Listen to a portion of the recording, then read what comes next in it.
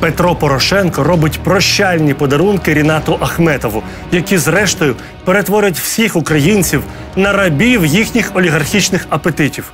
З вами Сергій Лещенко і програма Чесна політика. Вітаю вас! Зазвичай останні дні свого правління президент, який залишає посаду, присвячує роздачі нагород та подяк найбільш активним членам своєї команди. Когось намагається призначити на почесну посаду або послом. У Америці навіть є спеціальний термін, який означає президента в ситуації, коли його наступник вже обраний на посаду. Таких політиків називають леймдак, тобто кульгава качка, яка вже не має повної легітимності та добуває свої дні при владі. Але у випадку з Петром Порошенком останні дні його перебування при владі він вирішив присвятити набагато менш благородним речам. Останні тижні він займається роздачею подарунків найближчим до себе олігархам. Через чотири дні після поразки на виборах президента підконтрольний Порошенку антимонопольний комітет зробив буквально царський подарунок Рінату Ахметову. Партнер банковий Портердам Плюс отримав необхідні погодження для того, щоб прибрати до своїх рук обленерго в Київській та Одеській областях. Це не лише політичний вплив у двох великих регіонах, але це також подальша монополізація ринку енергетики Рінатом Ахметовим, який до сьогодні вже володіє 80% як всього вугілля в Україні, так і виробництва електроенергії на теплових електростанціях, які завдяки чарівній паличці Роттердам Плюс несуть буквально золоті яйця. Уже сьогодні обленерго контролюють передачу та збут 37% всієї електроенергії. А після покупки ще двох обленерго ця доля виросте до 48%, тобто половини всього ринку. Проти видачі Ахметову такого дозволу проголосували всього два члени антимонопольного комітету: Агія Загребельська та Світлана Панаєотіді. Обидві вони за часів Порошенка ставали постійним об'єктом нападок. На них складали протоколи та змушували написати заяви про відставку за власним бажанням. А інша частина антимонопольного комітету це люди, пов'язані з заступником глави адміністрації президента Олексієм Філатовим та концерном Укрпромінвест, які слухняно ухвалювали рішення в інтересах партнерів банкової Медведчука та Ахметова. Але при цьому роздача післявиборчих подарунків від Порошенка не завершується. З подачі його соратників та на догоду тому самому Рінату Ахметову парламент фактично заборонив українцям будувати дрібні домашні сонячні електростанції на землі. У минулий четвер була проголосована поправка номер 24 авторства депутата Домбровського з БПП, яка стосується фактично 10 тисяч українських сімей, що збудували такі домашні сонячні електростанції або запланували почати таке будівництво. Ці люди не мають тепер права розраховувати на зелений тариф. Натомість жодних обмежень немає для планів Ріната Ахметова, який поставив собі за мету до 2020 року побудувати максимальну кількість непотрібних нашій енергетиці гігантських, просто гігантських сонячних електростанцій.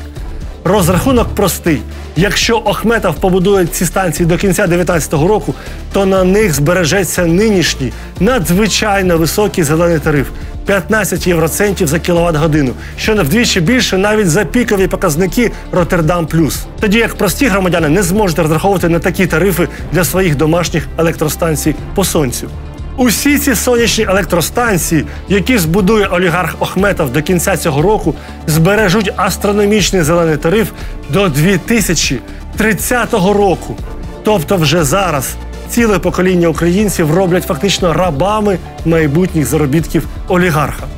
Цікаво, як міністр енергетики Ігор Насалик обґрунтував неможливість надавати зелений тариф для простих громадян, які вирішили побудувати дрібні домашні електростанції на землі. Виявляється, вдумайтеся, це може призвести до збільшення тарифу для населення.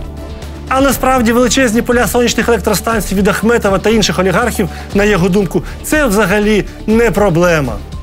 Ну і ще одне порівняння. Домашні приватні сонячні електростанції забирають з енергоринку всього лише половину відсотку грошей. Але Ахметов і його товариші забирають з енергоринку 55% грошей через Роттердам Плюс та енергію сонця. Мета олігарха максимальне насичення України сонячними електростанціями до кінця 2019 року. І на виконання примха Ахметова було фактично запроваджено санкції на українські заводи, що виробляють енергетичне обладнання. Їх іноземні конкуренти, які здатні до кінця року задовольнити потреби Ахметова в сонячних панелях, отримали право продавати свою продукцію взагалі без сплати податку на додану вартість. Тоді як для українських виробників цей податок залишається, а значить, їхня продукція буде на 20% дорожче аналогічного імпорту. Недарма лобістом цієї поправки була фракція Олега Ляшка, яка давно живе за рахунок в лапках олігарха. Насправді для Ахметова сонячна енергетика стала ще однією дойною коровою. Але крім збагачення олігарха, це несе ризики для всієї енергосистеми України. Сонце світить нерівномірно, і це залежить не тільки від часу доби, ранок, вечір, ніч, але й від сезону весна, зима, літо. І ці перепади треба постійно покривати. Тобто треба постійно тримати додаткові гарячі в лапках резерви на теплових електростанціях, які спалюють те саме неякісне вугілля, куплене за формою Роттердам Плюс. Як стверджує керівник державної компанії магістральних електропередач Укренерго Всеволод Ковальчук, для сонячної станції на 200 МВт, а це стандарт для Ахметова, треба мати додаткові маневрові потужності в обсязі 40-80 МВт на довантаження і стільки ж мати на розвантаження. Але ці теплові електростанції так само є старими, немодернізованими, екологічно небезпечними. І так само належить кому? Правильно, Рінату Ахметову. Тобто, іншими словами, поясню, насправді побудова Ахметовим цих надпотужних сонячних електростанцій, сконцентрованих в одному місці, призведе не до зменшення, а навпаки, до збільшення виробництва електроенергії на його старих теплових електростанціях, наприклад, на таких як Придніпровська або Криворізька ТЕС. Причому виробляти цю електроенергію станції будуть в найбільш дорогих маневрових режимах, на які діє додаткова надбавка в ціні. Ну і для того, щоб убезпечити себе від перегляду цих кабальних правил після відходу Порошенка, Ахметов вже зараз через своїх агентів в парламенті готує потрібний ґрунт. Так, утриманий ним Олег Ляшко висловився за позбавлення президента ряду повноважень, зокрема, право призначати своїм указом членів регулятора енергетики, які встановлює якраз ці самі правила гри, в тому числі тарифи. А насправді Україні потрібне повне перезавантаження відносин на енергоринку, що включає в себе і оновлення складу національної комісії по енергетиці, а також антимонопольного комітету, ліквідацію схеми Роттердам Плюс, дозвіл на імпорт електроенергії, щоб можна було б хоча б поставити Ахметова в конкурентні умови тощо. Тільки так ми зможемо отримати справедливі тарифи для всіх громадян України. З вами був Сергій Лещенко. До зустрічі.